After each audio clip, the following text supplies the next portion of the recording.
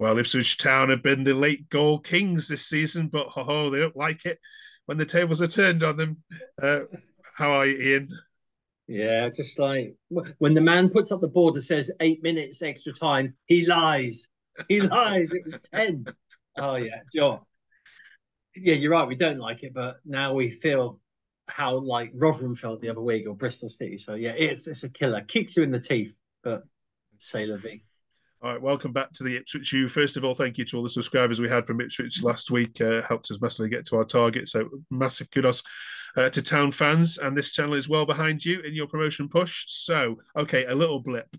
Um, Leicester have had them. Leeds aren't having them, uh, which is a little bit scary. But yeah. um, how did you rate the overall performance at, at the Cardiff City Stadium? you know, it was it's weird. When we played Cardiff at Portman Road, they played us like they were the home team. They were aggressive. They came at this they took a 2 0 lead. When we go and play them in Wales, totally different. It was like they were on the road. They were defending with five, six, seven people. They were so hard to break down. And it was it was getting frustrating. And it and it wasn't until Kiefer Moore scored in the 70th minute that I thought, at last we've managed to break them down and you know deep into injury time we're thinking okay we've we've, we've got the points we need it wasn't the prettiest of games but um, all credit to you know some of the Cardiff players. You never say never. Um, I'd be interested in how many of the Cardiff fans actually missed both those goals because there was a fair few leaving at 90 minutes. I can tell you. Okay. But yeah, it, it, was a it was a very difficult game.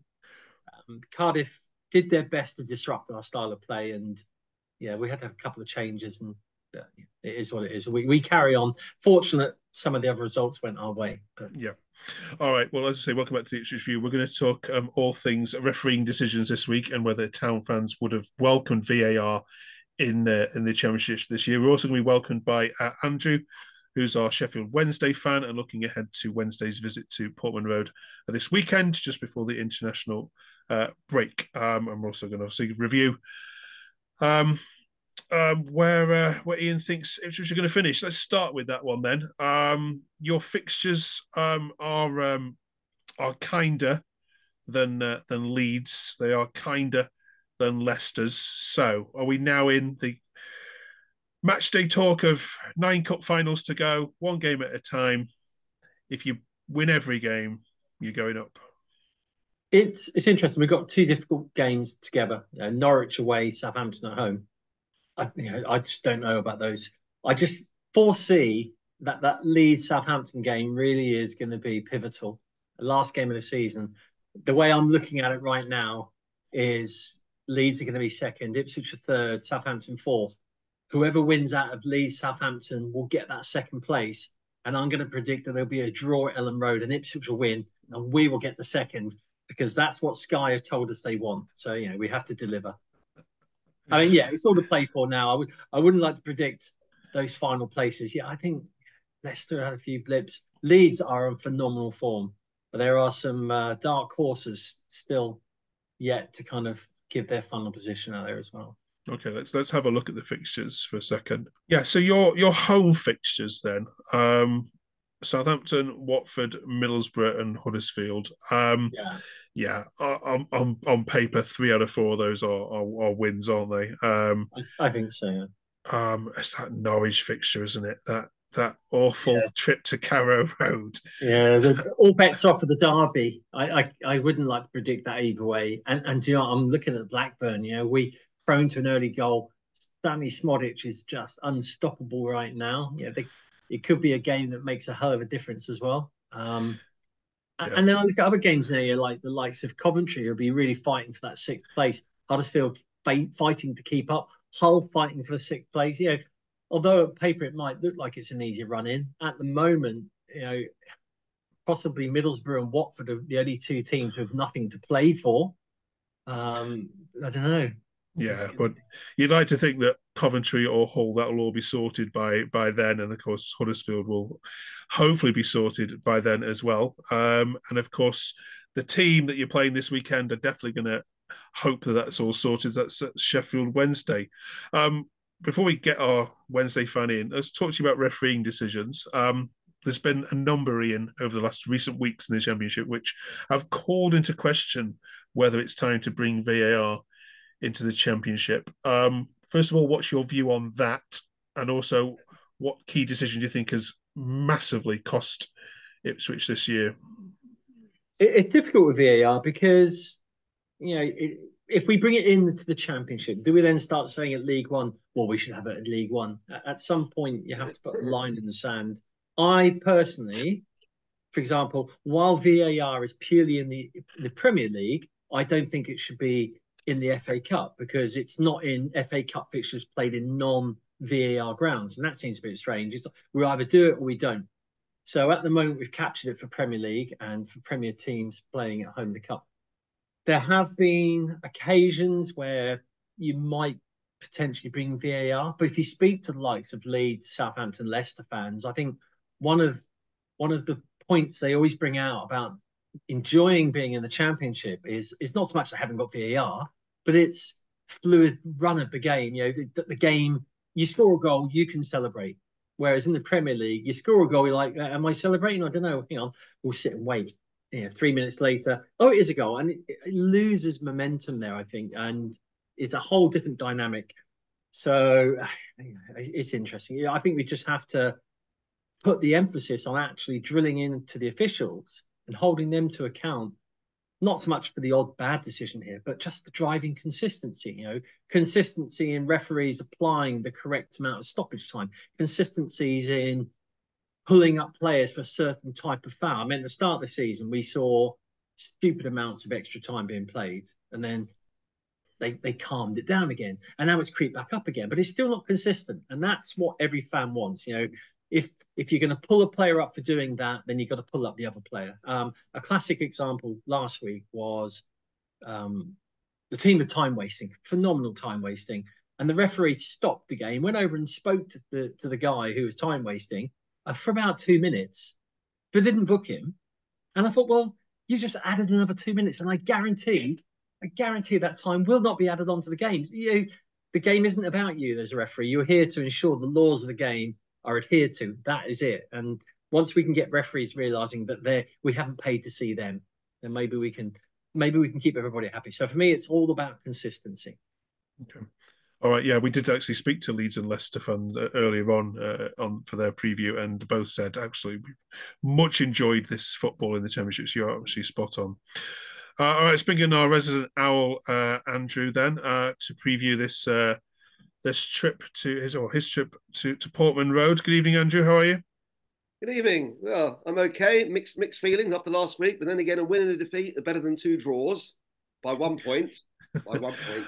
Um, Andrew, uh, Ipswich obviously are old friends of yours uh, from uh, from League One last year. What do you remember about your battles uh, last year? I remember Conor Chaplin will re- remember uh, the uh, the meeting at Portman Road last year because he uh, he missed a penalty, I think, if I remember, yeah, remember rightly. Yeah. Um, what do you remember about the battles of League One? Well, obviously it was, it was nip and tuck with them. They were they were lucky that we faltered. They were playing us when we were faltering, and, and that's when you know, we, we went from a great position of being clearly you know firm favourites to win the league even at one stage to then sort of struggling to sort of make the playoffs, which is ridiculous, really. They they they hit a purple patch after our purple patch had come to to a halt. So it was just timing, really, you know, at the end of the day. So we now, you know, this season, this is crucial for us. And, and Ipswich, obviously, are up there. They're, they're fancying their chances. And this is absolutely crucial that we have now got to bounce back. We can't really want to, we're not going to want to lose two games on the trot. You know, I know Ipswich are just as strong as Leeds near that top. But we, they're, they're obviously going to be hurting after losing the way they lost to Cardiff. And we are hurting for losing to Leeds. So we are now ready to have a go at Ipswich. And it's going to be a much different team to the team that played them at Hillsborough in the season September. There'll probably be only two players who played in that game who may be even considered for this game this Saturday. And I'm I, am not giving up the ghost because just the one defeat. You know, we both lost. They lost too. So we're both going to want to bounce back. So we're ready for this. I noticed he didn't mention Wednesday's being a hard game coming up for him. He's mentioned Southampton and Norwich. Well, be ready for a battle this Saturday. I can assure you. Let me know walk in the park for Ipswich Town. Uh, Andrew, Sheffield Wednesday haven't scored against the top half side uh, since uh, the start of December. So, what gives you the confidence that um, you can walk into Portman Road and and you know score a goal, let, let alone beat them? You say that, but you know our away form hasn't been bad recently. We've got results. We had the win, and um, we have been scoring away. Okay, okay, you say top half side. Yeah, um, we could have scored against Leeds quite easily. That goalkeeper made a great, great save to stop us going 1 0 ahead. Gassama could have put us ahead in that game. It could have been a whole different ball game there. And also, it was frustrating that that four minutes of injury time was up before they got that goal Bamford scored. If we'd have gone there half time nil nil, could have been a different story altogether, but that's another story. But, you know, I, I we've got the, the ammunition to do it now. These guys are capable of scoring goals. Okay, Ugbo didn't look like scoring on Saturday, it wasn't his day, but you know he, he knows he can score he'll have a go. And the other good news, hopefully, is that Poveda will be back. We, we missed him against Leeds. He's dangerous. We, he's dangerous going forward. So we've got the ammunition that can hurt them. Bannan's still pulling the strings in midfield. He had a great first half against Leeds on Saturday, and he's still running the show there. So we've got the ammunition. Ipswich Town, if they think they're playing a team that's sort of a small fry and uh, are out of it, you're for a big surprise. All right. Well, if you look at the form table last six games, this is second versus fifth uh, in the form league. Uh, Ian, um, would you like to see Sheffield Wednesday survive this season? Do you know, it's weird. I watched the Sheffield Wednesday Leeds game last Friday, and at first half, I thought Sheffield Wednesday played really, really well. And I, I only think the reason why they lost is because Leeds literally scored with the death of the first half, and they just went into that change room and came out deflated. And that was a shame, really, because I would have think I would have rather seen Sheffield Wednesday beat Leeds. But, but as for staying up, yeah, I think Röhl's done a really good um, he's done a good job over the last few weeks. It's taken a bit of time.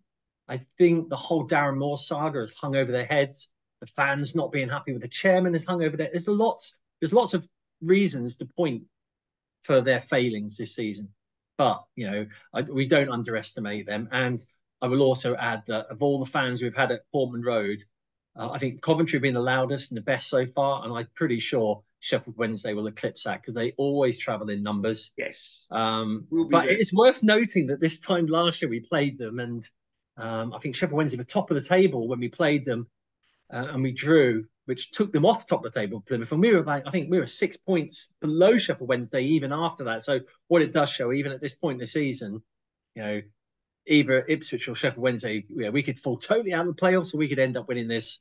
And again, for Sheffield Wednesday, they could they could have a poor poor run of form and be dragged back in. But I, I think I think they'll pull away. I think Barry Bannan will be getting amongst his players now, and they start to see a bit of daylight. And it, it, it'd be good for at least one Yorkshire team other than Leeds to stay in the Championship, I guess, because it looks like the rest are going south.